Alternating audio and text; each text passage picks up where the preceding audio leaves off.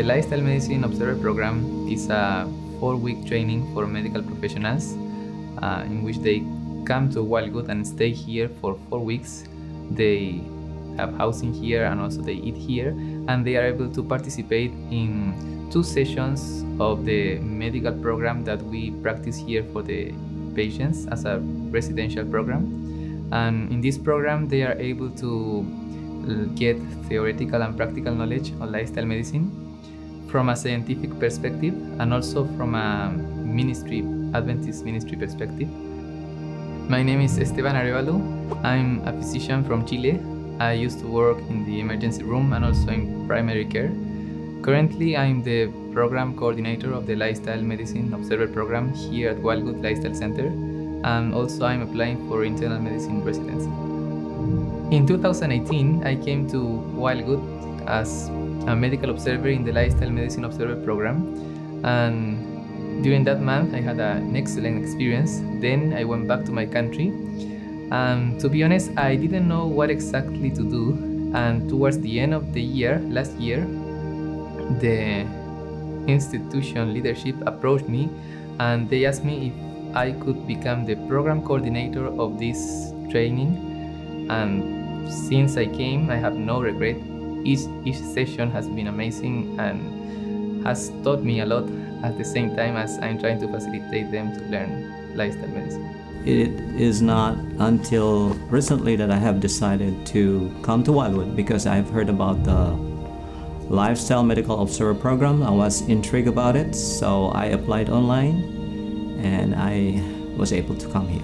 I developed a strong interest in lifestyle medicine because um, because of personal experiences and I really wanted to improve, increase my knowledge. Así que hace como unos cuatro meses atrás, en febrero, se realizaba el congreso de OCI, de la OCI en Chile, y yo recién empezaba a trabajar, pero sabía que tenía que ir, así que me inscribí sin saber si iba a tener el tiempo para ir, porque a veces no te dan los días para poder estar en otro lugar.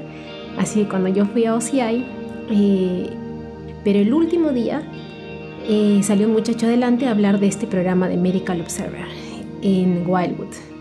Y fue la primera vez que yo tuve más acercamiento con Wildwood. Y así es como Dios me trajo acá, porque Él hace todas las cosas.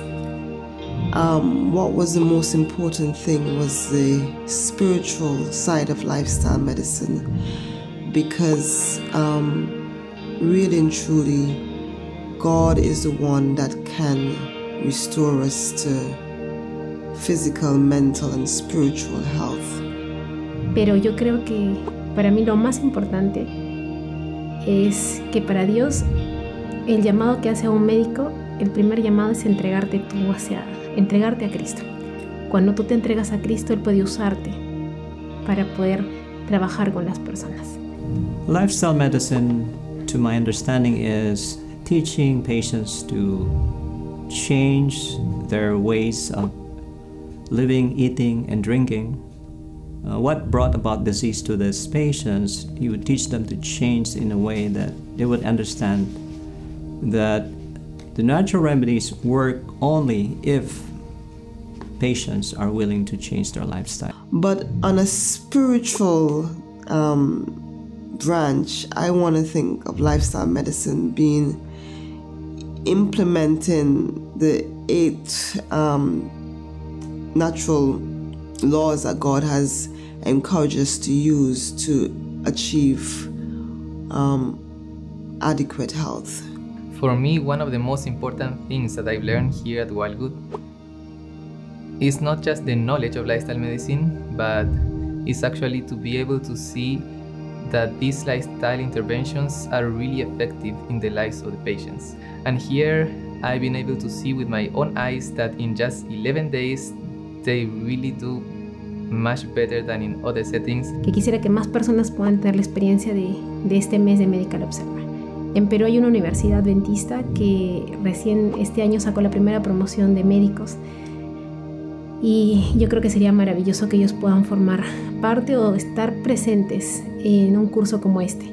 So um, I am planning to pursue a diplomate in lifestyle medicine um, from the British Society of Lifestyle Medicine, um, and you know, show people that you know God is God cares about us and He, loves us, and He wants us to be a part.